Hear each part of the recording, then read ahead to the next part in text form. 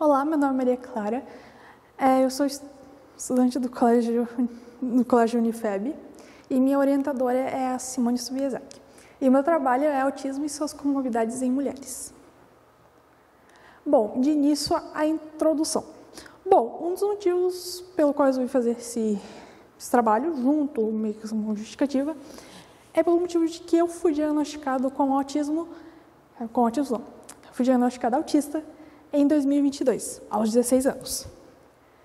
E uma das coisas que eu fui percebendo muito era a quantidade de mulheres que recebiam diagnóstico muito mais tarde do que eu. Mulheres até mesmo que chegavam a receber o diagnóstico na terceira idade. Então, eu pensei, putz, é, seria um bom, uma boa ideia fazer um trabalho sobre esse assunto, já que não é pouco falado e tem muitos aspectos sociológicos em cima desse assunto. Bom, o objetivo é conscientizar, né?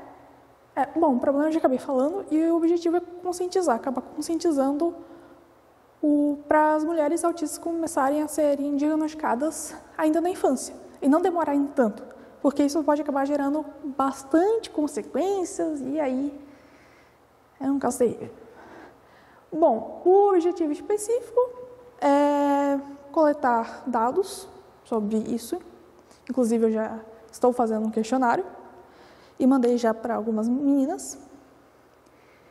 E a metodologia é feita basicamente por pesquisa. Pesquisa, como falei, de questionário. Bom, é, Howard S. Becker uma vez disse: nossa identidade e comportamento são determinados pela forma como somos são determinados pela forma como somos descritos e classificados. Isso basicamente serve muito para esse assunto. Afinal, o jeito que uma mulher é classificada, por exemplo, se ela tem que ser tímida, simpática, tem que ser generosa, ah, tem que gostar de coisas femininas, tem que ser tudo aquilo que a sociedade acha que ela deve ser. Então, uma mulher autista quando ela foge de algum desses padrões, a sociedade vai acabar julgando. E aí ela vai acabar criando o que chamamos de masking, que é basicamente mascarar o autismo, mesmo que de forma inconsciente. Então ela vai usar tudo aquilo que falam que as mulheres devem ser e transformar em uma máscara. O problema é que isso vai afetar drasticamente na vida dessa mulher.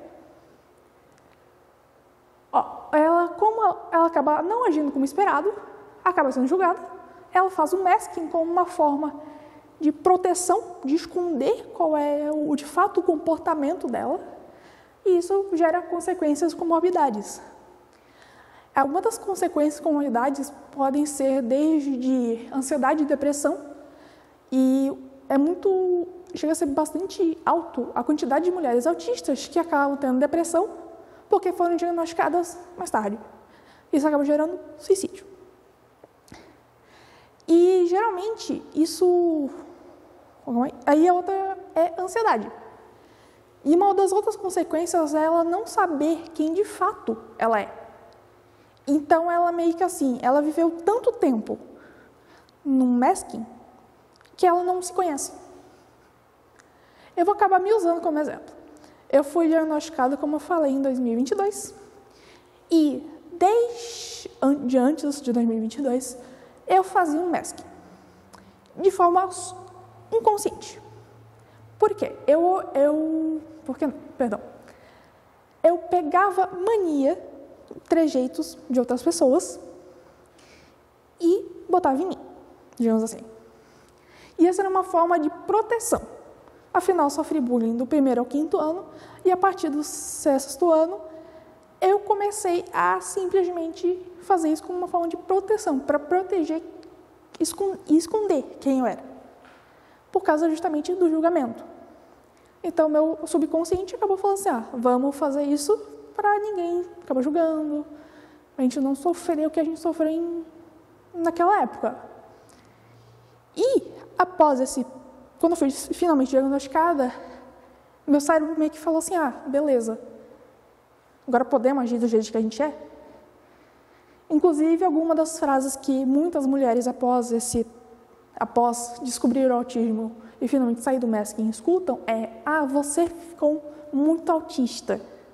Mas não, ela simplesmente saiu do masking, conseguiu sair e agora age de uma maneira da maneira que ela se sente confortável.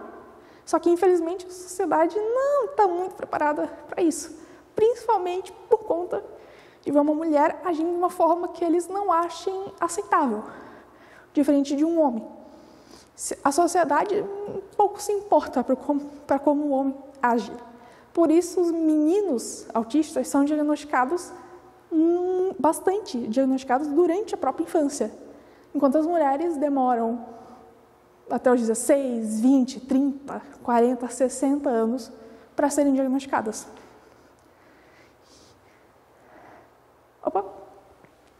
Então, é basicamente isso.